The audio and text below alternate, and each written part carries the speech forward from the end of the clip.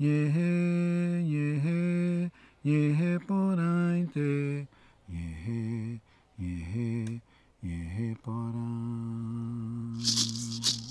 Tomiyaki, tomiyaki, tomiyaki, yerehe. Eu completo 67 anos em setembro. Se eu olhar para trás, eu vejo uma rota de fuga. Se tem, de algum, digamos assim, alguma coisa que nos iguala hoje, é que estamos todos em rota de fuga. Eu não queria assustar ninguém com essa ideia de um fim de mundo. Aí as pessoas me perguntam, ah, você escreveu o livro Ideias para Adiar o Fim do Mundo. É, qual é o segredo para adiar o fim do mundo? Aí eu fico mais preocupado ainda, porque ele não é uma receita para adiar fim de mundo nenhum. Quem dera que eu soubesse alguma coisa sobre adiamento. Eu fiquei muito impressionado com o fato de um livro que não tinha pretensão nenhuma é, ser é, chamado de best-seller. Nós, os comuns mortais, quando a gente escuta falar que tem alguém que é um autor best-seller, a gente fica pensando que é alguma coisa fora da, do nosso alcance, né? E eu estou experimentando essa situação e é muito curioso, porque ele resulta mesmo até num reconhecimento público. Eu, eu fui pegar um metrô em São Paulo, eu fui parado no, no, no corredor do, do, metrô por pessoas perguntando, ah, você, você é o Krenak que fez o livro Ideias para Adiar o Fim do Mundo? Aí eu falei, caramba, como é que é esse livrinho? Porque eu sou uma pessoa, digamos assim, que já está há muito tempo na estrada. Já tive várias intervenções públicas, mas isso nunca me deu a visibilidade que o livrinho está dando, você acredita? Yehe, yehe, yehe yehe, yehe, yehe.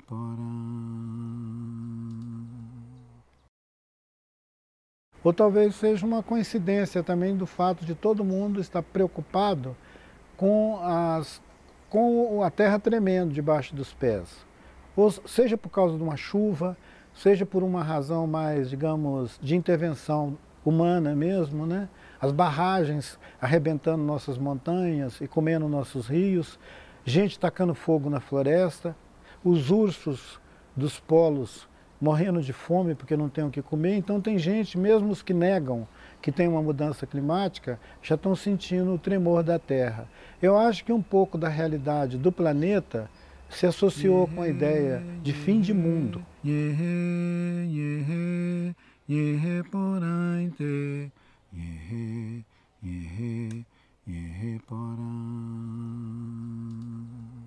E eu acho interessante que uma perspectiva apoiada na memória ancestral, no pensamento mágico do povo indígena, esteja interessando as pessoas num tempo tão careta e conservador igual esse que nós vivemos hoje. É uma narrativa que parte do seguinte princípio: enquanto você puder conversar, dialogar, você está adiando um fim de mundo, algum fim de mundo.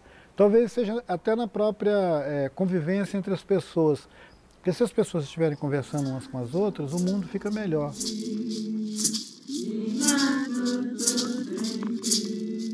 O texto veio de uma inquietação minha, né, que vivo numa situação é, já muito é, antiga, onde as nossas famílias é, sempre tiveram, foram acossadas, empurradas dos seus lugares de origem na floresta, na nossa antiga floresta do Rio Doce, onde os botocudos sempre viveram, antes dos brancos chegar aqui no Brasil. Essa região que é a floresta do Rio Doce, ela era uma floresta sempre admirada. Aqueles viajantes que andaram por aqui no século XVII, XVIII, eles diziam que a floresta do Rio Doce ela era mais é, impressionante do que a Mata Atlântica. Imagina, eles tiveram que sair de lá do litoral, atravessar tudo isso para chegar aqui no Rio Doce. E, e o Langsdorff, eles, o Von eles têm painéis que mostram a floresta do Rio Doce com árvores gigantescas e com, com uma fauna também impressionante.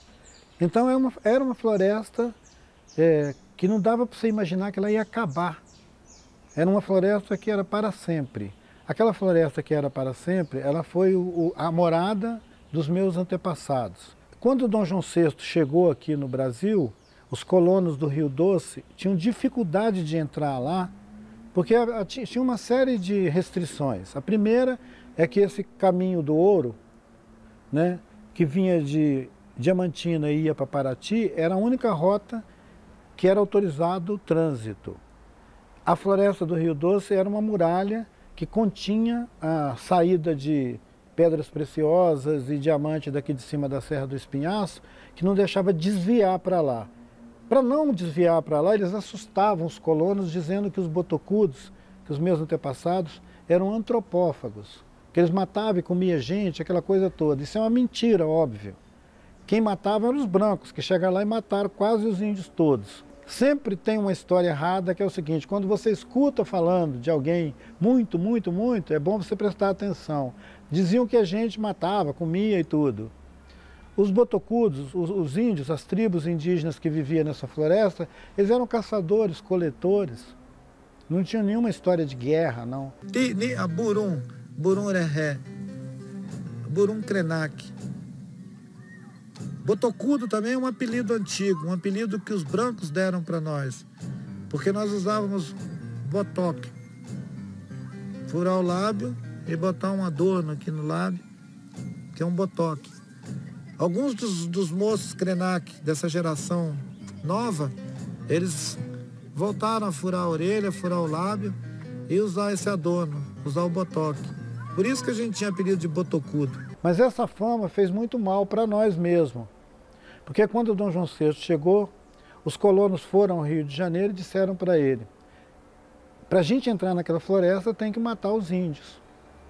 E o Dom João VI liberou um, um, uma carta, uma declaração, é um documento histórico, ele existe. O documento era Guerra de Extermínio aos Botocudos do Rio Doce. Esse documento foi assinado em 1808. E de lá para cá, essa floresta foi devastada, os colonos entraram mesmo.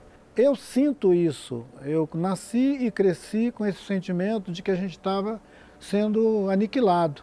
Então os fins de mundo para o meu povo, eles são um looping assim, de fim de mundo. De vez em quando tem um fim de mundo. Agora, por exemplo, nós estamos vivendo um fim de mundo de novo, onde a gente tem um governo central no Brasil dizendo que os índios têm que acabar, ou dizendo que os índios são quase humanos, então isso tudo são provas de que eu não estou inventando uma história. Esse incômodo me fez escrever, é, falar as três conferências que foram transcritas e que se, se consolidou agora no, no, formato de um livro, que é Ideias para Adiar o Fim do Mundo. Eu não tinha intenção de alarmar a coisa, mas, como eu havia dado o nome de uma das conferências de ideias para adiar o fim do mundo, ele virou o título do livro.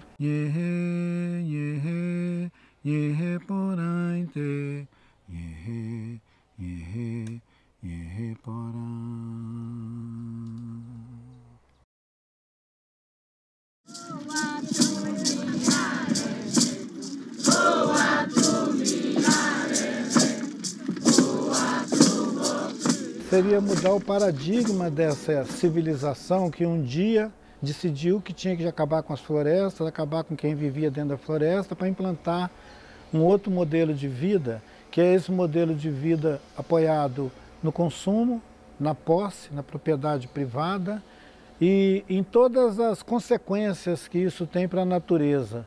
Eu costumo me recorrer muito ao poeta Carlos Drummond de Andrade, que é nosso é, conterrâneo, né? e que passou a vida inteira é, alertando de que as montanhas de Minas estavam sendo comidas. Ele denunciava essa tragédia ambiental antes de se chamar ecologia e meio ambiente.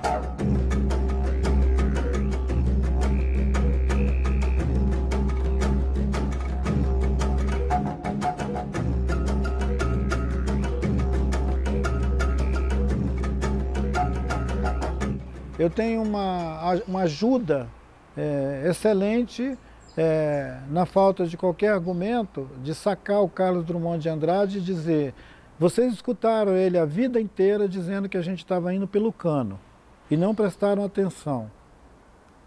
Eu só estou quase que repetindo o que ele já falou, acrescentando alguns outros agravantes. Porque na época do Carlos Drummond de Andrade, a, a ideia de um clima global mudando ainda não existia. Mas a ideia de nós destruir as nossas paisagens é, e acabar com os nossos rios, chegando a destruir as, as montanhas, que sempre para a humanidade foram é, é, entidades né, importantes. quer dizer que nós, como cultura, como humanidade, a gente decaiu. Perdemos a sensibilidade para olhar um rio e uma montanha.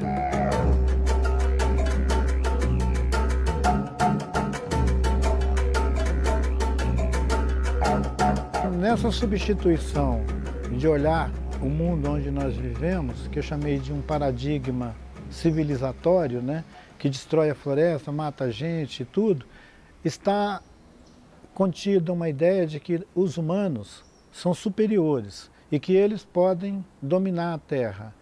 Esse paradigma ele é danoso. Durante muito tempo disseram que nós somos preguiçosos, que a gente não constrói cidades, que a gente não faz monumentos, que a gente não constrói toda essa parafernália tecnológica que tem por aí, porque nós seríamos assim tipo burro. Só que nós já tínhamos, como fizemos uma olhada nos eventos futuros, a gente olhou assim uns 2.500 anos para frente e nós decidimos que a gente não ia fazer isso. A gente já tinha visto a curva. A curva era os rios podres, o ar doente, os seres da natureza constrangidos, e nós achamos que a gente não queria contribuir por isso. Então nós fomos acusados de ser preguiçosos, burro e, sei lá, atrasados. A literatura que é veiculada nas escolas para as crianças de vocês até hoje não conseguiu sair do preconceito de sugerir que os índios são primitivos. Tipo, tão primitivos que ainda não conseguiram é, evoluir para o estágio civilizado, que é uma babaquice absoluta. Né? A menos que para a gente evoluir, a gente tivesse que poluir, envenenar, detonar, criar bandidos, mocinhos, cadeias, grades, patrulhas, vigilância, hospitais. A gente não tem essas instituições maravilhosas que a civilização criou, tipo presídio de segurança máxima, sequestro, sequestro relâmpago, sequestro rapidinho, assaltos. Essas coisas a gente não conseguiu, a gente não teve capacidade ainda de desenvolver. Mas, é, quem sabe, se a gente viver assim, em estreita cooperação com o Ocidente, a gente consegue chegar no mesmo grau de delinquência e detonar o planeta junto com todo mundo. Eu acho que a oportunidade de juntos a gente ter uma visão crítica sobre a coisa, ela me dá a oportunidade de ouvir vocês e, e possibilita também que eu conte para vocês um pouquinho da visão que o meu povo tem sobre isso que nós aprendemos a chamar de civilização. Nós já sofremos hoje o que a gente é, fez, e se a gente continuar transmitindo esses valores para gerações futuras, nós vamos legar a eles um tremendo buraco.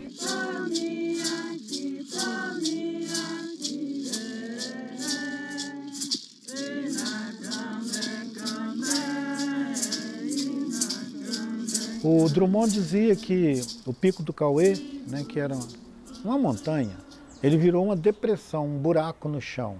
O que, que a gente ganhou com isso? Se a gente pensar localmente, o que, que Minas Gerais ganhou em transformar sua paisagem em buraco?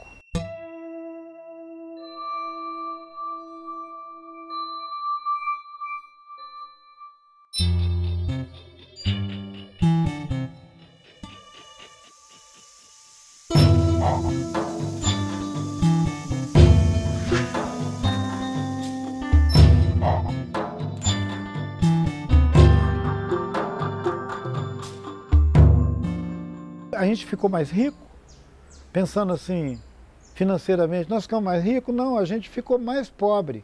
Então alguém ficou rico e a gente colaborou para que nós mesmos ficássemos mais pobres. Nós estamos jogando fora alguma coisa que nunca mais vai se repor. Né?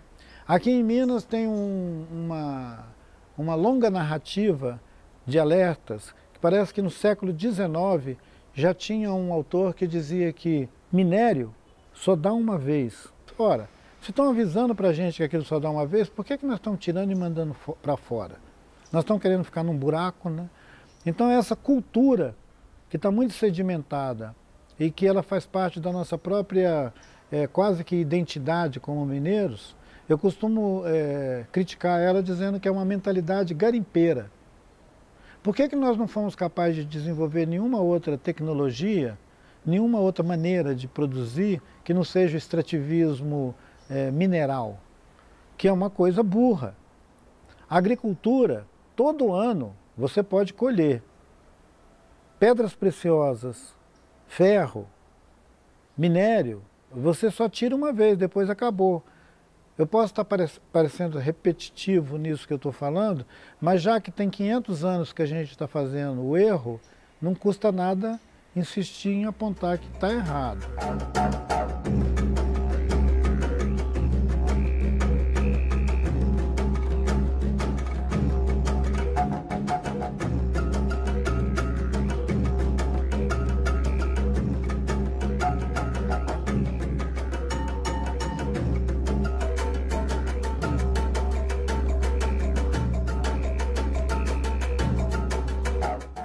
Consequências disso depois são os bueiros da cidade voando e virando chafariz. E as pessoas morrendo soterradas em lama.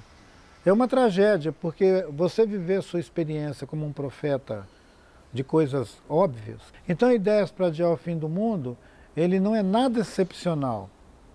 Ele é quase que uma, uma, uma natural é, evolução da crítica sobre o modo errado de viver no meio dessas montanhas. Mas a gente podia estender o olhar também para o mundo. Porque hoje são os oceanos que estão virando depósito de lixo. A maioria das pessoas deve imaginar que os nossos oceanos são esses lugares maravilhosos, cheios de golfinho e baleia, e, e não saberem ainda que os golfinhos e as baleias já estão contaminados com o tanto de plástico que está nas fossas dos oceanos. São montanhas de, de, de plástico. E olha que, que, que, contradição. Imagina a situação. Nós tínhamos montanhas de verdade. As montanhas de verdade a gente come elas.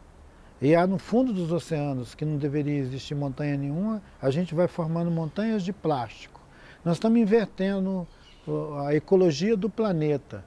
Nós estamos criando uma ecologia do desastre.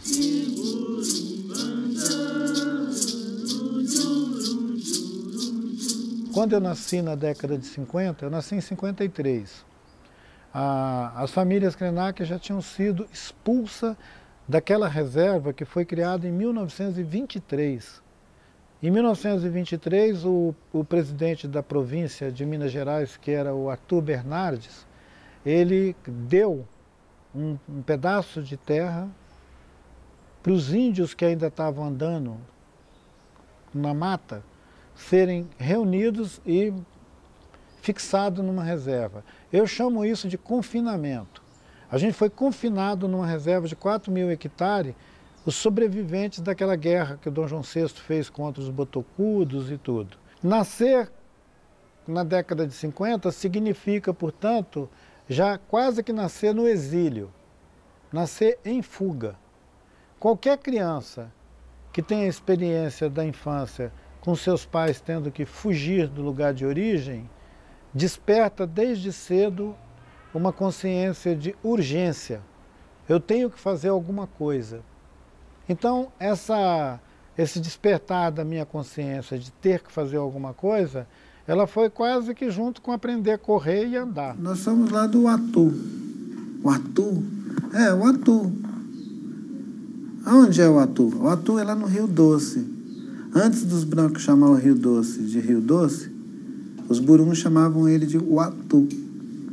E o Tacucraque, aquela montanha que tem lá na frente, o nome dela, Tacucraque, é pontas viradas para o céu, aquelas pontas de pedra.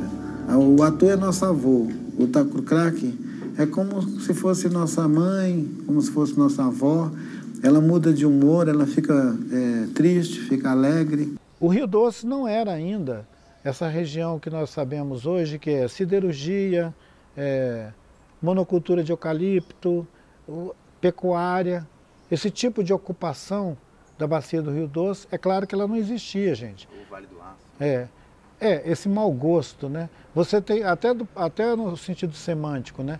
Se você tem um lugar que se chama Vale do Rio Doce, ele evoca uma poesia. Agora, Vale do Aço, entendeu? Vai ter mau gosto assim lá no inferno. Então, é, por quê? Porque tem uma, tem uma siderurgia lá, tem uma atividade extrativa e de processamento de, de, de aço e tal. Aquilo vira o Vale do Aço. Isso é uma predominância da atividade econômica sobre todas as outras motivações para uma comunidade humana se estabelecer em algum território. Né? É claro que nós não somos o Vale do Aço. Seria medíocre achar isso. Mas é isso que, o, que a indústria imprime naquela região e que a propaganda também do, da ideia desenvolvimentista imprimiu para aquela região.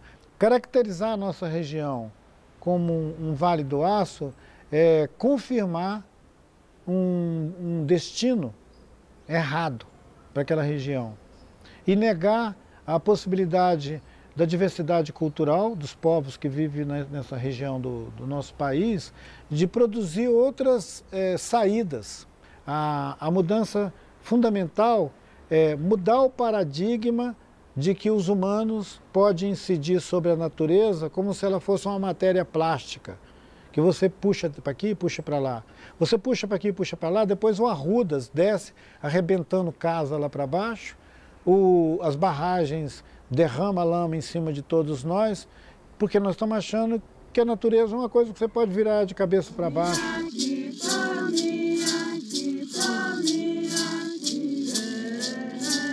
Nos primeiros, digamos, oito, dez anos da minha vida, a gente estava fugindo dos invasores do nosso território, literalmente. Atravessando aquelas serras, às vezes, em lombo de burro, né? parando em alguns lugares, podendo fazer um, uma roça, plantar batata, plantar milho.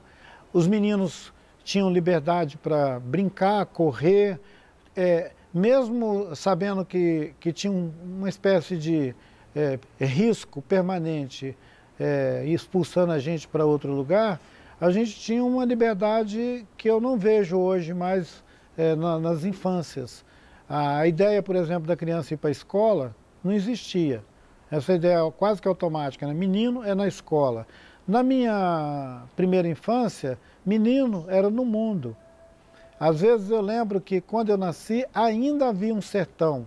E aquele lugar, se você olhar no mapa, é, no mapa do, de, do, Brasil, ele é uma divisa de Minas Gerais com Espírito Santo e lá teria um carimbo em cima que é assim, região do contestado.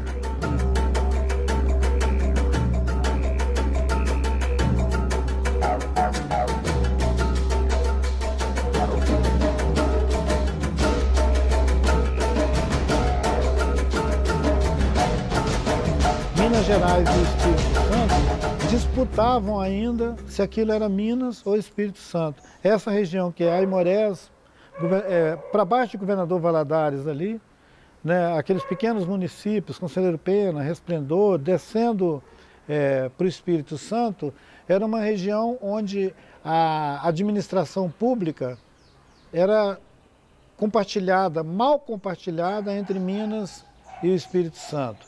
Só na década de 60 é que lá teve mesmo a instituição dessas, desses órgãos administrativos do Estado e que passou a fazer parte de Minas Gerais. Mas eu tenho certeza que até muito recentemente os mineiros nem sabiam que aquela região é, era Minas Gerais.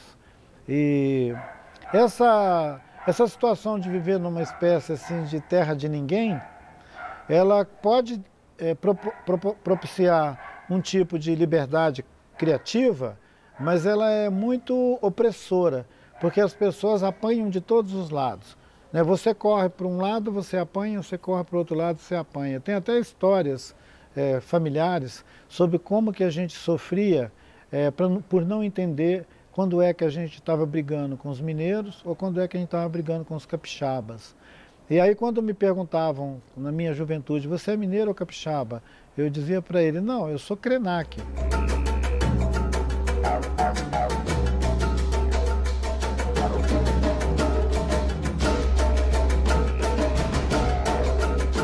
Como é que eu vou ser mineiro se eu apanho dos mineiros, eu fujo para o outro lado, apanho dos capixaba? Essa questão talvez tenha até algum sentido para hoje, quando o povo indígena é hostilizado pelo próprio governo central, e você perguntar para uma pessoa dessa que é sacaneada pelo governo se ele é brasileiro, entendeu? Põe em questão até a ideia da sua naturalidade. Se você é mineiro, se você é brasileiro, nós estamos sendo o tempo inteiro enxotados na nossa identidade sobre quem nós somos.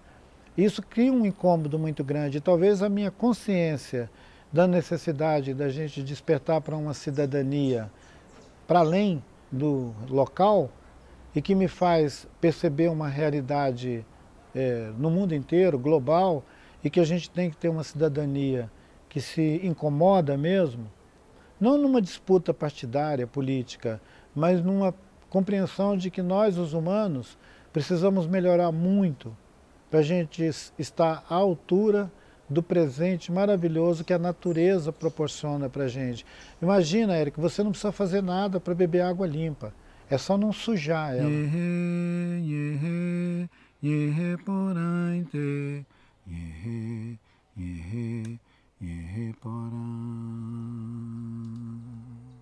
Na década de 60, os, os Krenak foram retirados de lá. As famílias Krenak que voltaram para a segunda fuga, foram enxotados de lá, foram levados para várias regiões. Uma delas foi para a região do Mucuri, onde os Machacali têm um território, e a ideia era despejar os Krenak lá nos Machacali, para liberar a terra dos Krenak. Olha que maldade. Os Machacali já viviam numa situação penosa. Eles ainda iam jogar as outras famílias flageladas lá para cima deles.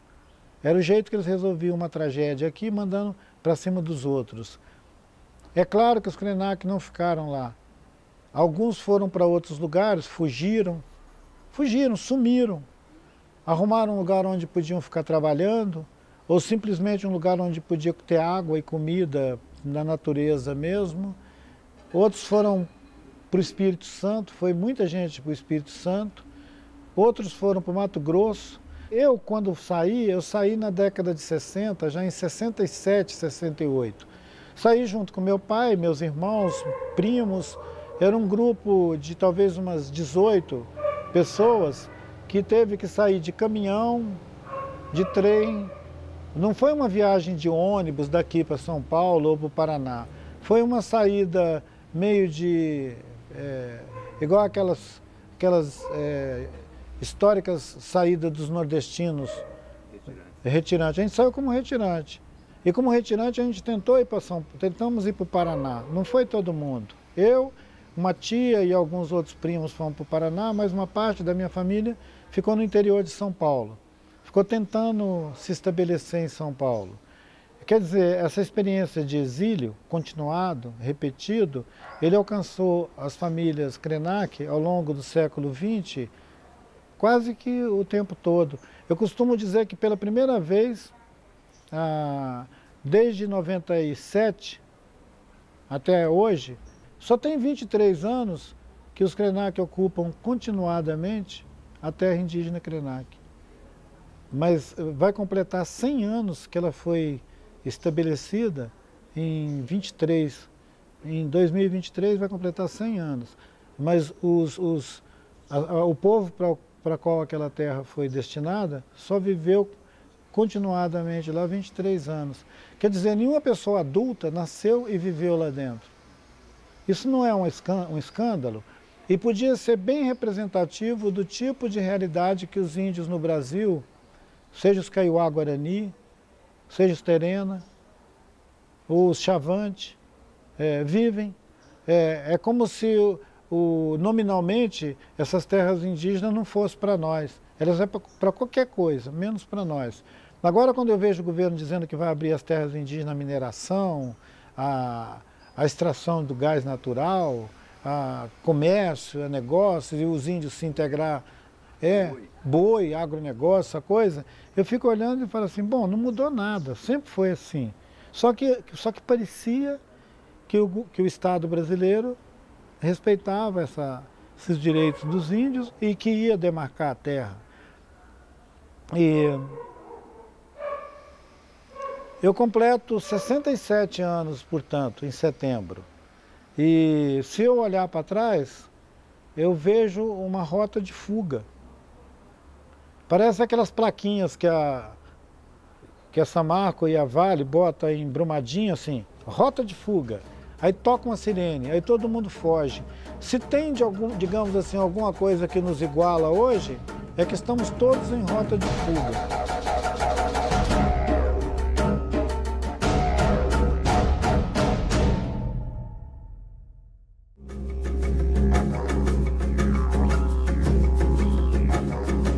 Talvez essa, essa é, memória que pega o século XX com o povo indígena Krenak fugindo e correndo de um lado para o outro, ele consiga bem constituir um retrato de um moço que chega aos 30 anos de idade fazendo o movimento indígena no, no Brasil.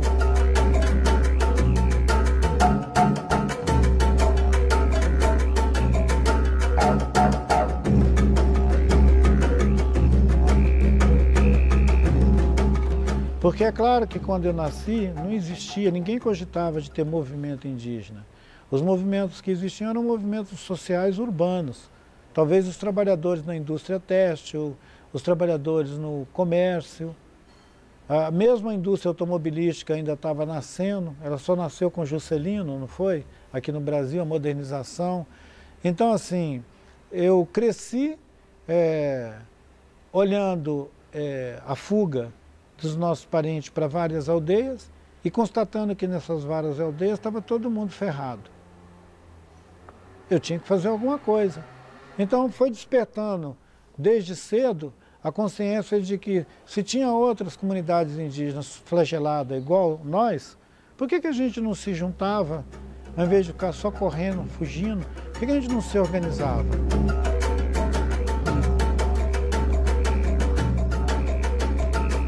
Eu ajudei a criar, no final da década de 70, uma iniciativa chamada União das Nações Indígenas. Talvez o título seja muito romântico, né? União das Nações Indígenas, mas quando a gente é jovem, tudo é mais bonito. E nós começamos a criar uma, uma, um conselho de índios, de lideranças indígenas desses lugares que eu andei. No Mato Grosso, em Goiás, mais para frente, depois na Amazônia. Se eu fosse te contar o tanto de aldeias indígenas do Brasil que eu já andei, porque vai pegar desde lá de cima, da fronteira do Brasil com a Venezuela, em Roraima, até no Rio Grande do Sul, na fronteira com a Argentina, as aldeias que eu conheço, lugares que eu parei para conversar com os anciãos, com as lideranças, igual nós estamos aqui sentados aqui, conversando e explicando para eles que em todos os lugares as nossas terras estavam sendo invadidas. Que a política do governo, ao longo da história recente do Brasil, era de acabar com a gente. Supancararu, Carijó, Tupinagé, Potiguar, Sucaeté, Uniô, Tupinambá. O que, que você sabe sobre o índio brasileiro? Não sei responder nada, não. O índio? Nada, nada. O índio acho que seria uma pessoa que deve existir, né, no Brasil. Acredito que no Ceará também tem, só que mais vestido, né? Só vestido. Viram o que as pessoas falam e o que eles pensam sobre os índios no Brasil e sobre a nossa história toda? Tinimburum Rehé, Ailton Krenak. O meu povo é Krenak, o meu nome é Ailton. Veja o que, que as pessoas continuam pensando e falando sobre os índios. O que, é que eu aprendi sobre o índio?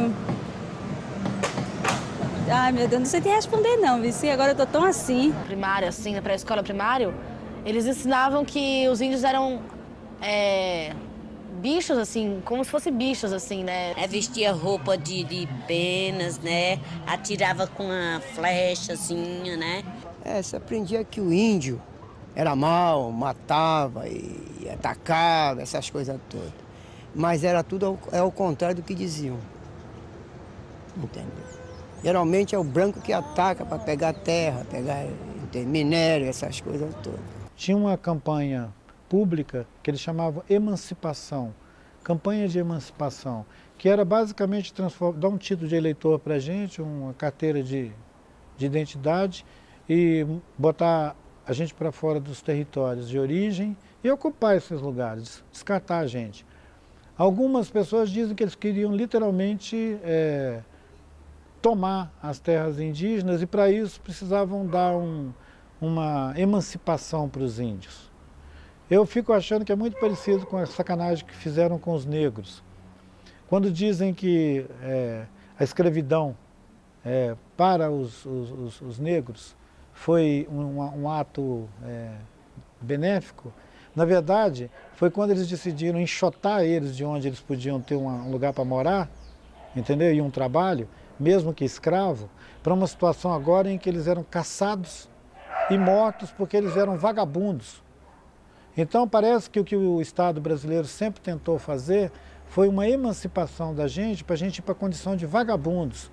Um amigo meu me falou que era se transformar de índios em indigentes. Como tem um sujeito que anda dizendo por aí que nós já estamos quase virando gente, talvez ele tenha achado que agora é a hora da gente virar indigente, que é uma falta de, de sentido e uma, um desrespeito assim, é, totalmente. Principalmente para alguém que está ocupando um lugar de autoridade num país que tinha que ter um pouco mais de é, respeito com o povo que vive nesse país, inclusive os índios, e que não pensasse uma coisa tão é, ofensiva com relação ao nosso povo. E, quer dizer, a gente nunca parou de ser ofendido.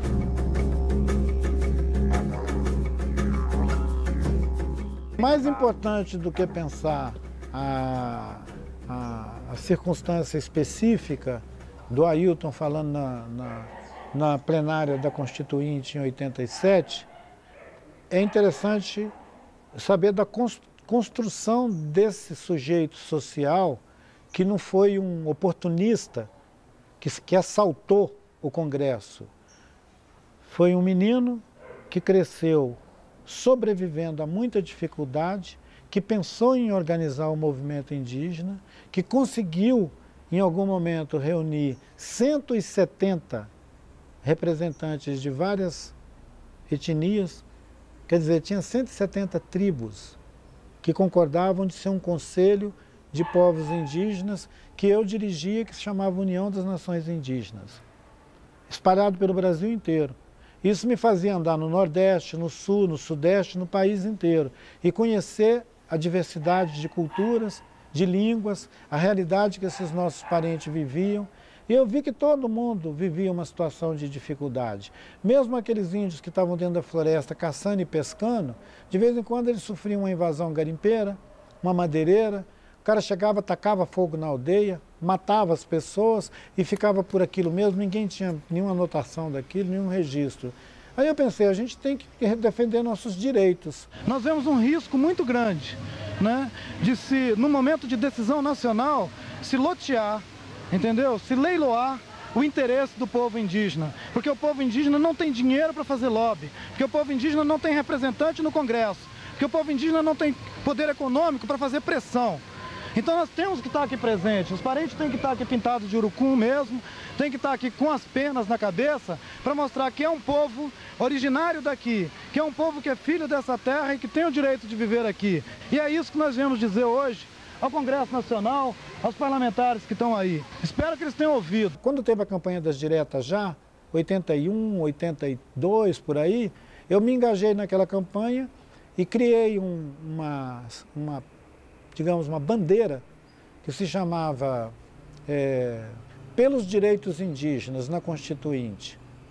Então, junto com aquele movimento social que resultou na convocatória da Constituinte de 80 e, que, que a gente chama de 88, mas que ela foi, ela foi debatida em 86 e 87. Os pontos principais é o reconhecimento pela nação brasileira dos direitos históricos das populações indígenas, como consequência desses reconhecimentos, a demarcação dos territórios indígenas, a garantia do usufruto desses recursos naturais dos territórios para o povo indígena e o acatamento pelo Estado brasileiro dos projetos de futuro das populações indígenas. Aquele dia que eu fui fazer a minha a defesa do artigo 231 do capítulo dos índios na Constituição foi em setembro de 87. A Constituição, a Constituição foi promulgada em 88. Naquela ocasião, tinha uma frente ampla que reunia a Associação Brasileira de Imprensa, que teve um papel muito importante na campanha das diretas já,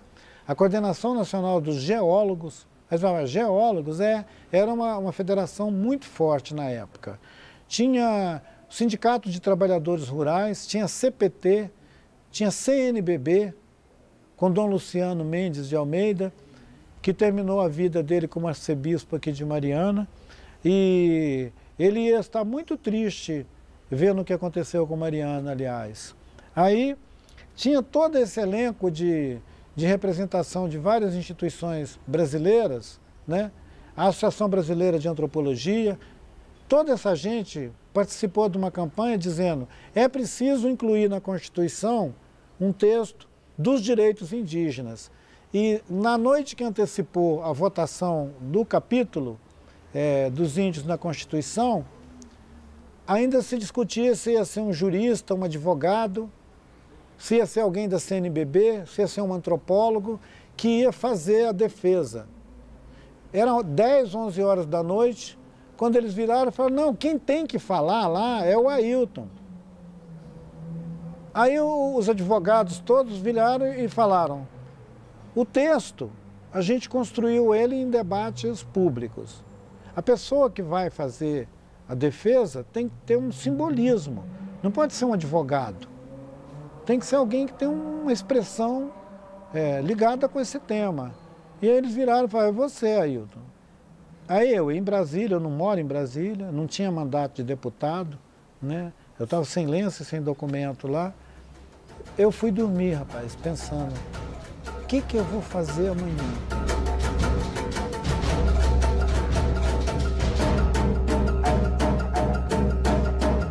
De manhã, eu cheguei lá de calça jeans e camiseta. Primeira coisa que o pessoal do protocolo fez foi: o senhor não pode entrar aqui. Eu falei: por quê? Eu vou falar lá na plenária.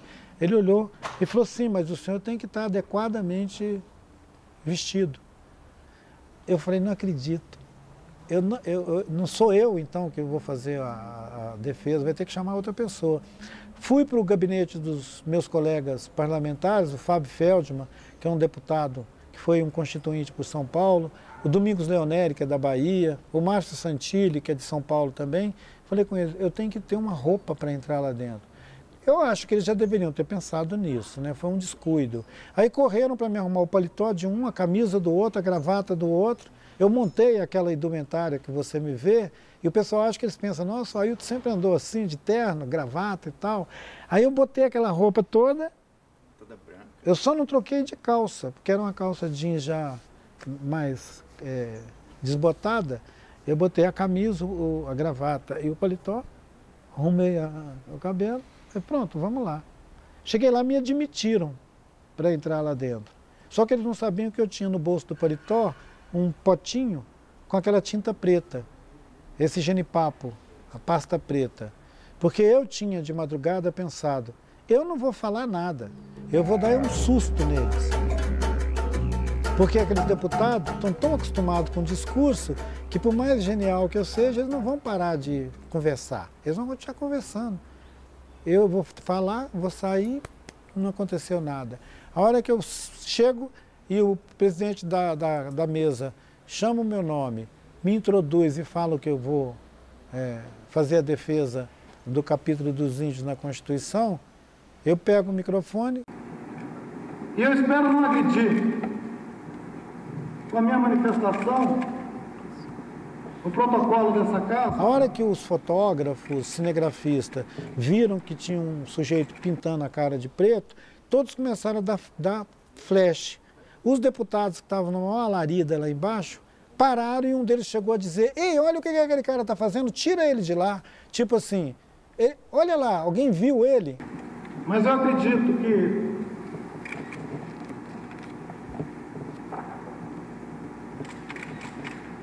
Os senhores não poderão ficar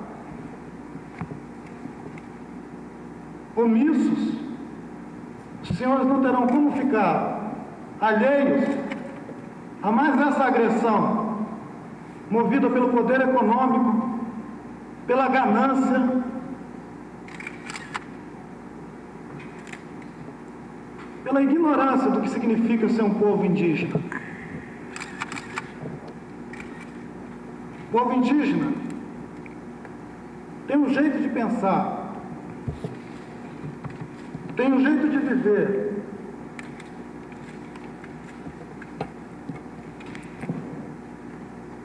Tem condições fundamentais para a sua existência e para a manifestação da sua tradição, da sua vida, da sua cultura, que não colocam em risco e nunca colocaram a existência sequer dos animais que vivem ao redor das áreas indígenas, quanto mais de outros seres humanos. Eu creio que nenhum dos senhores poderia nunca apontar atos, atitude da gente indígena do Brasil que colocou em risco, seja a vida, seja o patrimônio de qualquer pessoa, de qualquer grupo humano nesse país. E hoje nós somos o alvo de uma agressão que pretende atingir, na essência, a nossa fé, a nossa confiança de que ainda existe dignidade,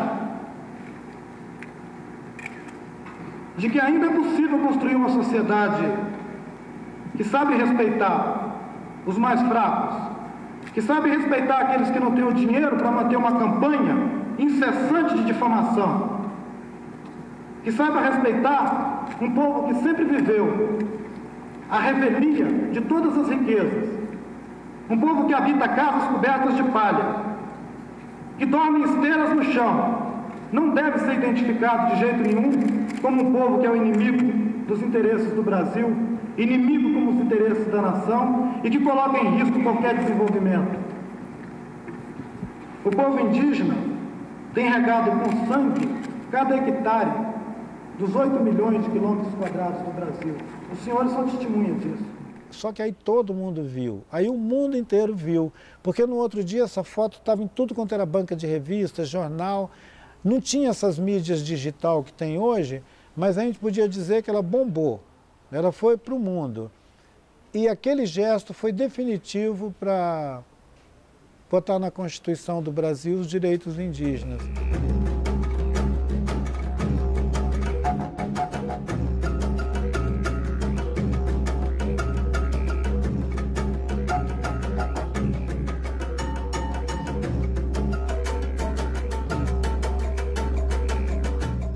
Alguém conseguir fazer aquilo de novo, estou dando 10 reais. Falou, faz isso aí pra gente. Você sai sem sujar a roupa. Só acertar o foco. E também a pintura da, do rosto, sem espelho nem nada. Como é que aquele negócio. Eu, teve uma hora que, que o rosto ficou todinho preto.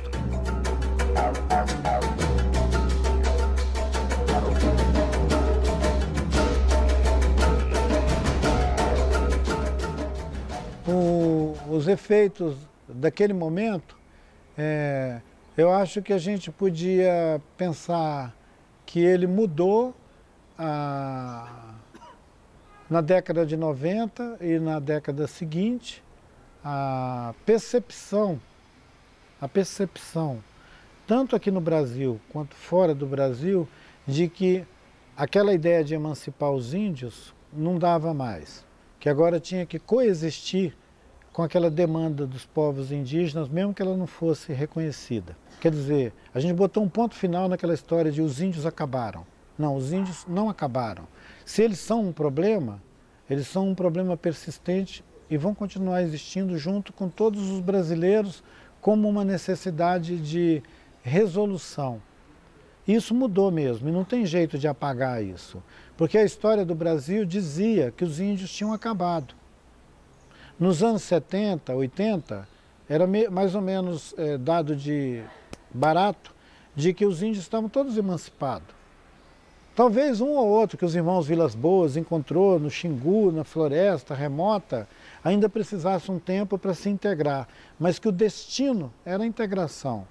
Hoje, definitivamente, é, mesmo as pessoas mais é, conservadoras, sabem que a questão da humanidade não se limita mais ao Brasil, é uma questão que inclui outras relações do, do Brasil com o mundo. Por exemplo, nós temos uma Declaração Internacional dos Direitos dos Povos Indígenas. Se a gente considerar que na década de 80 a gente fez uma declaração sobre os direitos dos índios aqui no Brasil, isso contatou uma outra relação de direitos que é internacional.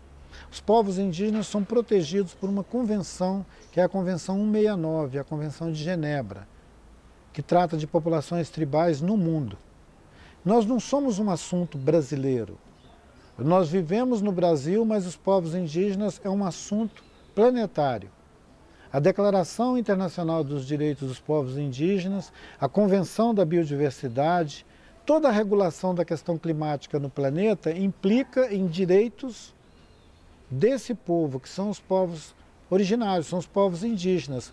E não tem povo indígena só no Brasil. Na América Latina tem povo indígena nos países vizinhos nossos todos, na Colômbia, no Peru, na Bolívia, no México, no Canadá, nos Estados Unidos. Esses povos indígenas, em qualquer lugar do continente, estão vinculados a convenções internacionais. Se um governo de um desses estados nacionais aviltar, ofender os direitos indígenas, ele vai responder numa corte internacional. Hoje mesmo tem uma ação é, direta contra o presidente da República do Brasil por é, genocídio, ofensa, ameaça contra o povo indígena no Brasil. E está numa corte internacional, entendeu? E vai continuar tendo. Enquanto o Brasil não souber respeitar os direitos indígenas, o Estado brasileiro vai ser levado denúncias contra o Estado brasileiro a tribunais e fóruns internacionais. Se o mundo inteiro hoje está desgovernado e esses fóruns internacionais estão com pouca é, eficácia no que se pronunciam, mesmo a ONU, mas o povo indígena tem assento na ONU, na Comissão de Direitos Humanos da ONU. Então a gente não vai se limitar a fazer uma reclamação a um juiz de província ou a um cartório regional. Quando for necessário, nós vamos fazer uma denúncia na ONU. Isso significa que aquele gesto vin nos vinculou a uma teia de relações de direito nacionais e internacionais. Do ponto de vista da divulgação, do ponto de vista do, do, da sensibilização de opinião pública, eu acho que não resta dúvida que as pessoas ficam mesmo, é, ou ficam revoltados, irados, porque são contra mesmo a afirmação dos direitos dos povos indígenas, ou ficam conscientes de que agora nós estamos numa nova realidade, que é uma realidade global. E eu costumo dizer que se o Brasil não conseguiu acabar com os índios até a Constituinte de 88, não é agora que eles vão conseguir, porque agora nós estamos articulados com o mundo inteiro. E ofende o mundo inteiro a ofensa contra o povo indígena.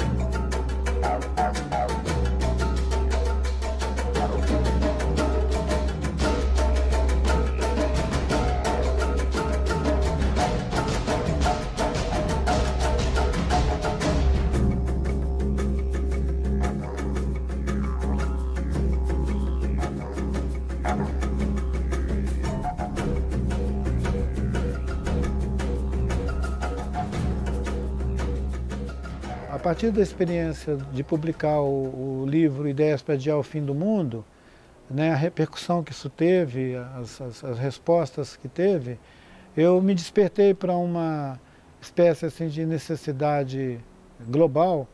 Todos nós precisamos é, ser capazes de pensar o seguinte: o que eu vou deixar para a próxima geração depois de mim?